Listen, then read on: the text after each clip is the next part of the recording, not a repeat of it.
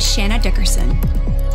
My business is the good life. I connect my clients to luxury, culture, and causes, creating breathtaking travel experiences that are truly world class.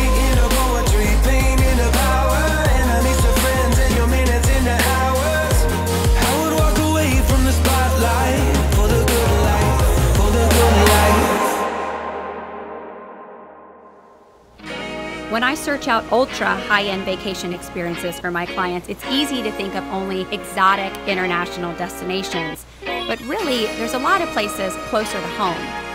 And my company, Blue Sky Luxury Travels, specializes in finding those perfect locations. The Emerald Coast meanders along the Gulf of Mexico for about 100 miles, but I'm heading somewhere specific inside that 100 miles.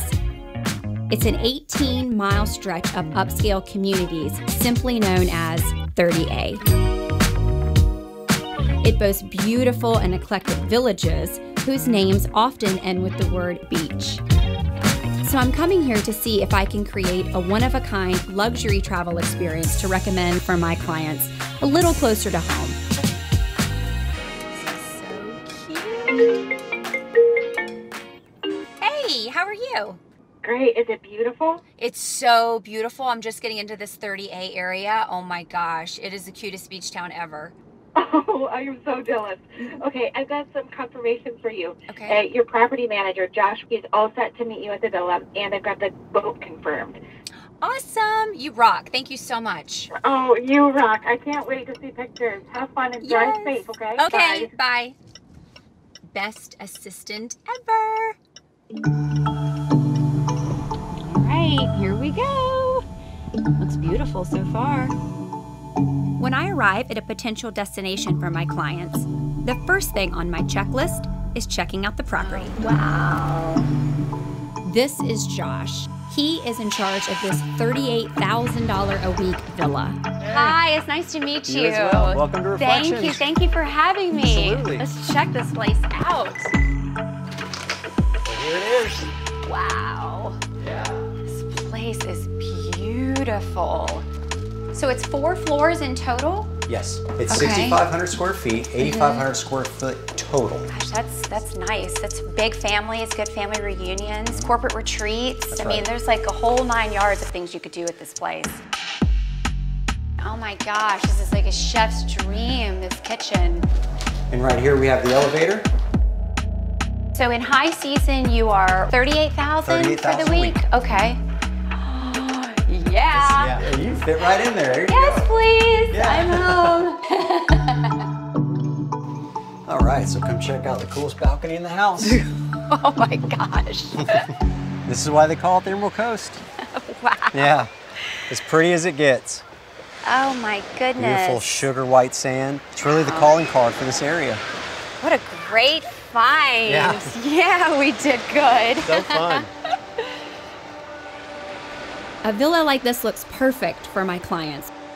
But the only way to know for sure is to experience it myself.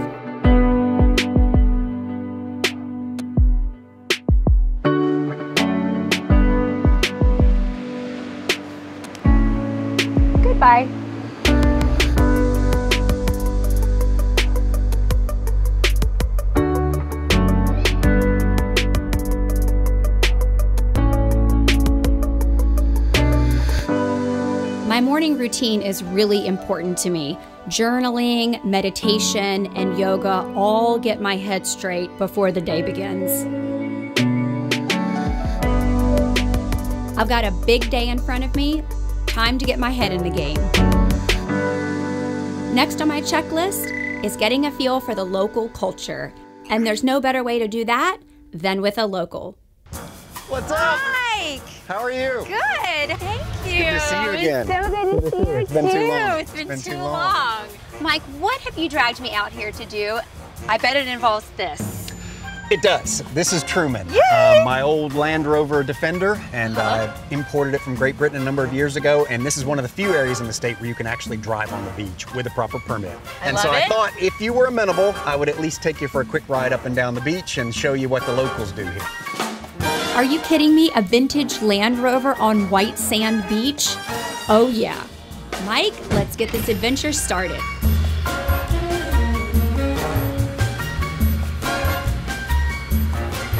Yeah, so Grayton Beach uh, was founded in the late 1800s. It's actually one of the first communities that was established in this part of Florida.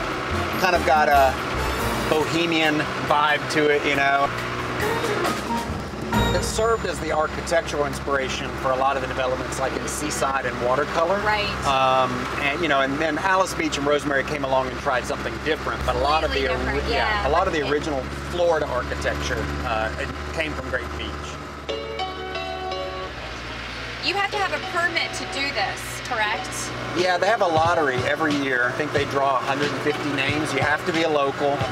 But if you don't have a permit, you can still get out here and enjoy this beach. Number one, the best way is, of course, electric bikes. You can actually get out and pedal on the sand, so it's a great way to explore. So you got a hookup for those bikes? Uh, yeah.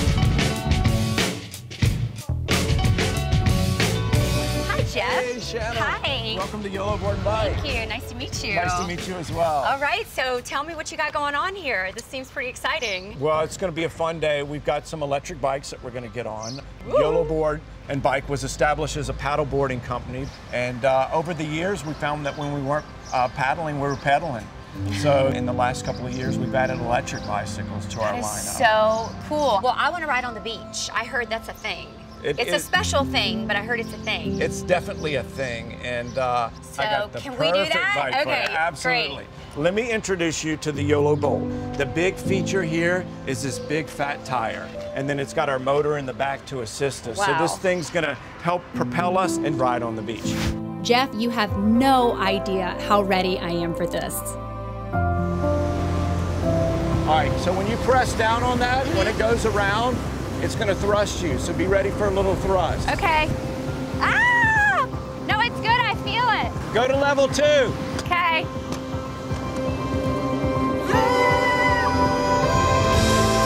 These things can fly. Oh, this thing will go 25 miles an hour.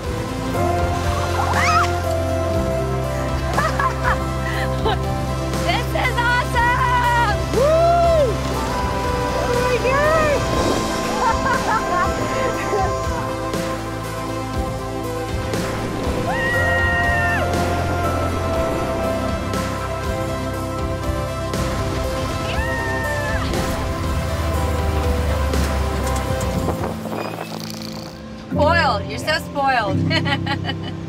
You're really lucky to be able to have this. This is this is so great here.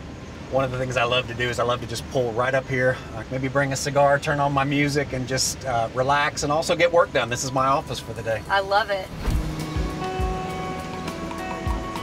This looks a little rough right now. Yeah. But I'd love to get in and actually go explore, you know, these beautiful waters. So of course everybody knows the Gulf of Mexico is one of the big draws, but there's definitely something special right back here. All right.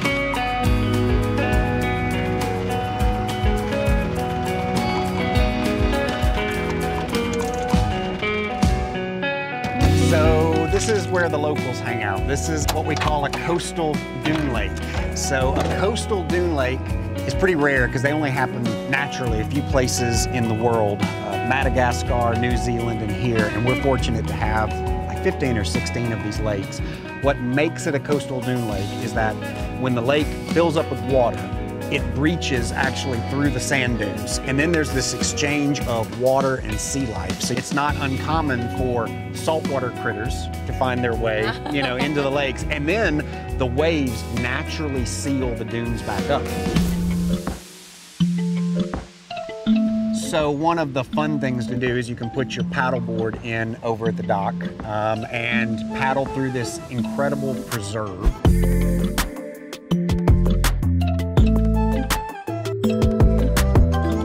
Nothing beats paddleboarding for me. I love it, it clears my head, and paddleboarding the coastal dune lake was about as cool as it gets.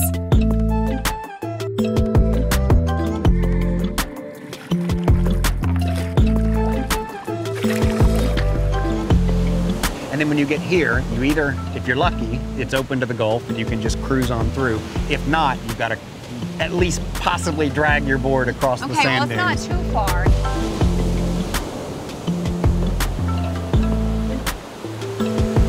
There is a reward. Once you get out on the Gulf, then it's just a short paddle away to the artificial reef. This is Turtle Reef. The cool thing about it is from the air, you can see that the reef is shaped like a turtle.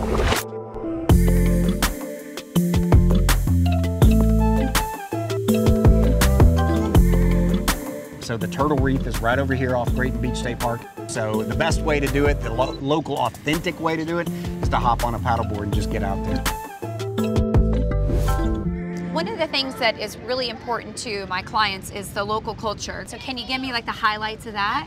Yeah, there's kind of like a flip-flop renaissance happening here. There's all this culture being created by all the artisans and musicians who call this home. So they have the 30A Songwriters Festival every That January. awesome. Then we have Digital Graffiti at Alys Beach. Um, it's the world's first projection festival. So it's projection art. Artists come from all So over the cool. world. It is amazing. And then also right over here, you've got the uh, one of the first art installations actually under the sea.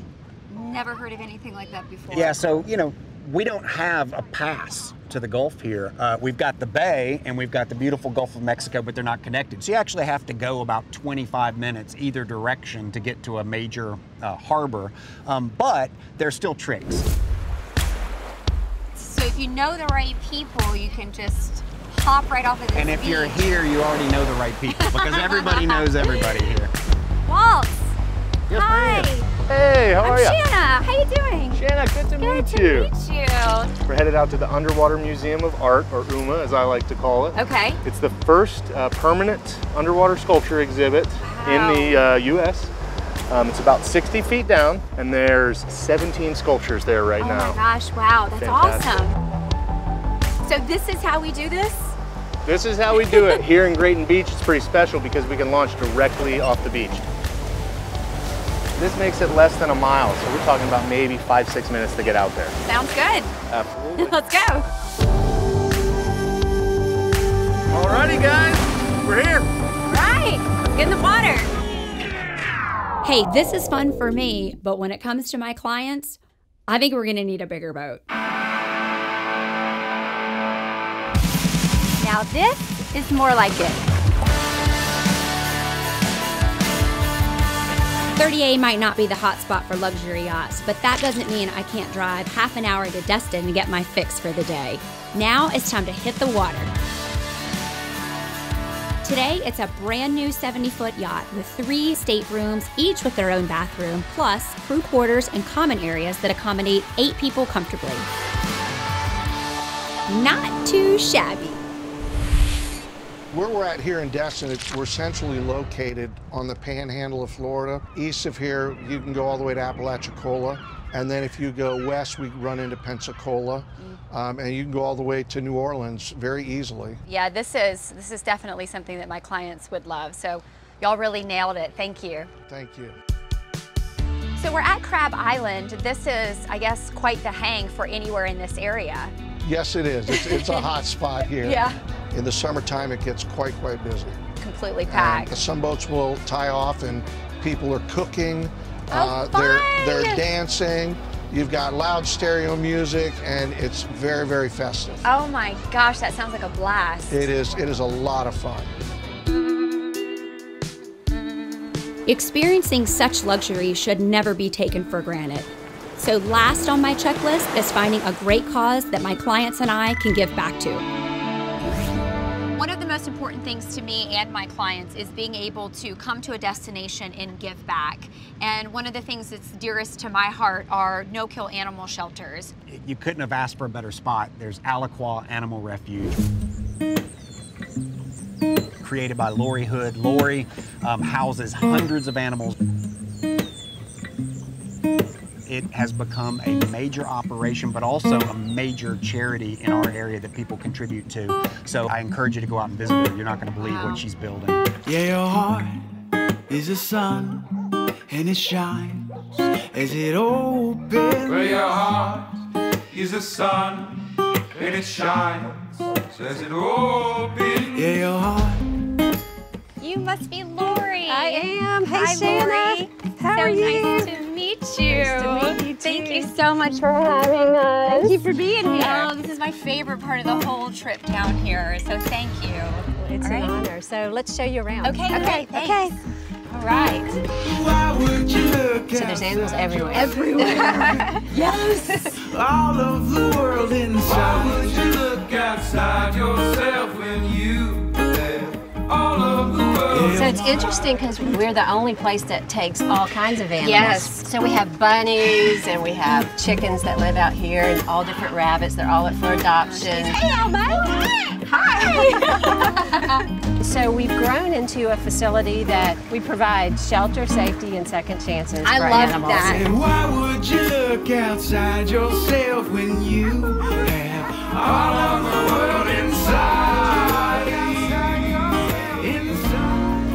want you to meet Miss Martha. Hi, Miss Martha. Oh. Are you happy to be here? Yes, you love your Laurie, don't you? Yes, you do. Hi, Martha. You want to get your checkup? Come on. this dog has already gained seven pounds in just a week and a half. We can already see that her skin is improved. Her hair is coming back. She doesn't itch bad like she was nonstop mm-hmm. itching. Her eyes are not oozing and crusty. So, a lot of good things are happening with Martha. You go, Martha. Well, good work, guys. I have a lot more to show you. You want to go see some more? Let's go see some more. Yeah. Most of these animals are sanctuary animals, so they're part of like a, a program now we do with children that come out for a little petting zoo educational program. You are getting a goat. He wants some attention. Aww. Champers? So Champ is uh, our mascot here because Uh-huh. he was a cruelty case that we actually won. It was the first one that the county had ever prosecuted. And the cool thing about that is after his case, he inspired us to teach law enforcement training all over the state. That hair is so great. Look at it.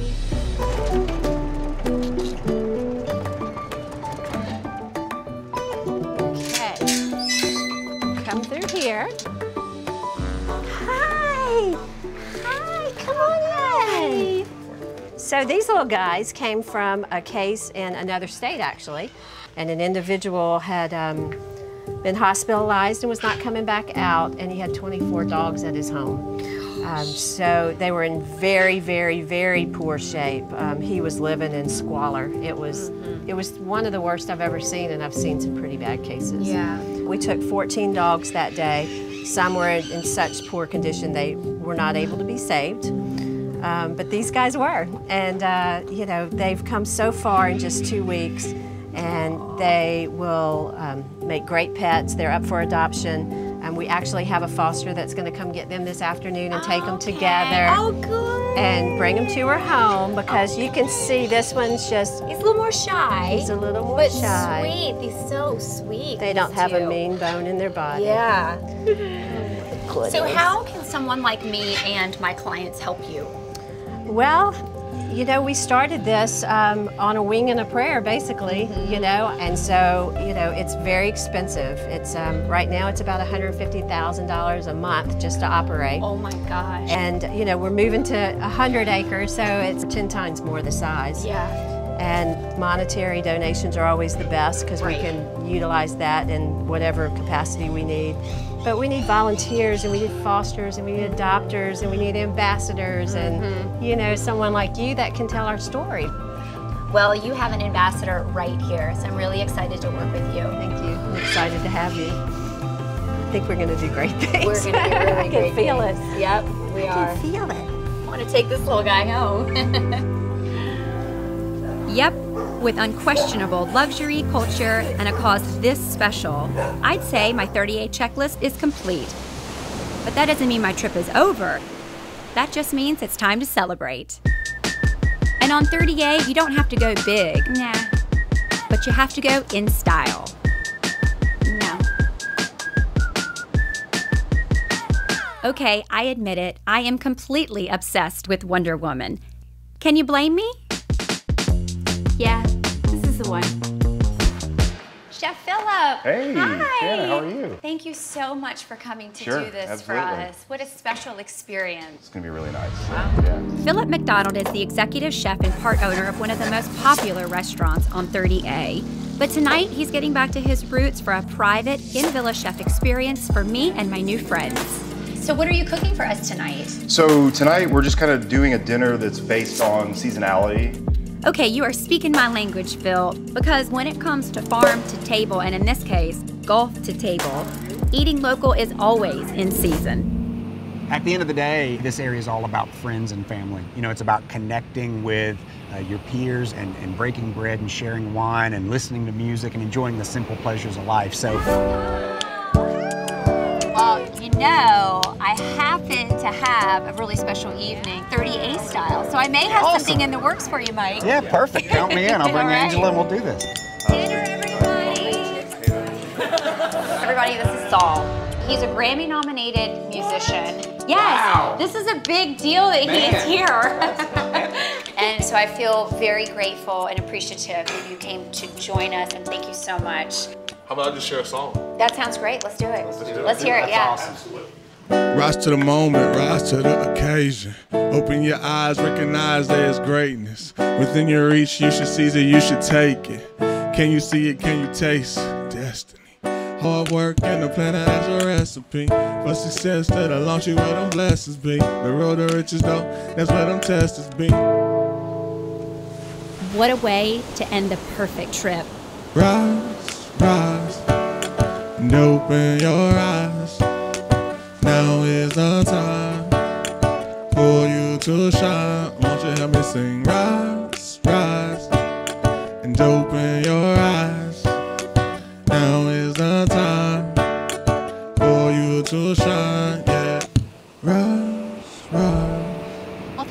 much for bringing me out here today. I had Sure, such a course. great time, and thank you for all the local inside info. Not only is it helpful for me, but it's so helpful for my clients. So thank you very much. You're going to have a blast. Welcome to 30A. Thanks. All right, let's go. All let's right, get out of let's here go. before the sun sets on us.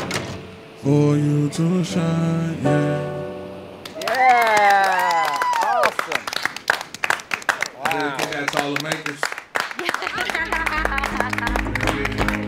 30A was everything I expected and more. I'm looking forward to the next destination, which is sure to be world class. Cheers!